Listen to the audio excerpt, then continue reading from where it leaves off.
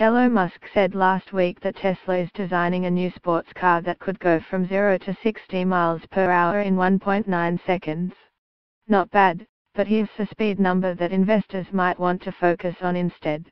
Over the past 12 months, the electric car maker has been burning money at a clip of about $8,000 a minute, $10,500, Bloomberg data show. At this pace, the company is on track to exhaust its current cash pile on Monday, August the 6th. To be fair, few Tesla watchers expect the cash burn to continue at quite such a breakneck pace, and the company itself says it's ramping up output of its all-important Model 3, which will bring money in the door. But still, its need for fresh cash came into high relief last week when Musk unveiled his latest plan to raise funds. He is asking customers to pay him upfront to order vehicles that may not be delivered for years.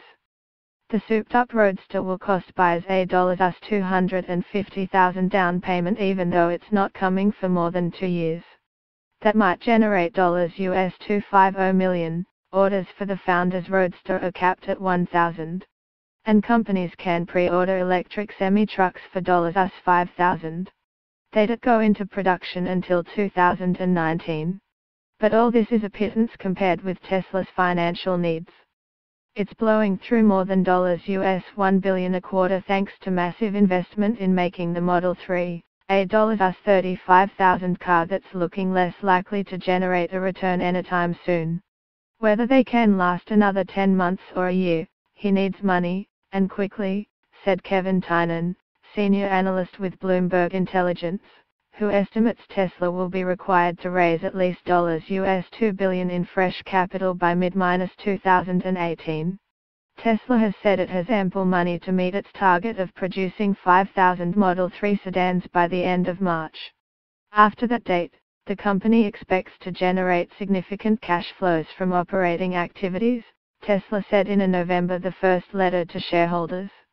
Tesla's capital expenditures should also decline as the company pays off its expenses related to the Model 3, CFO Deepak Ahuja said on a conference call the same day.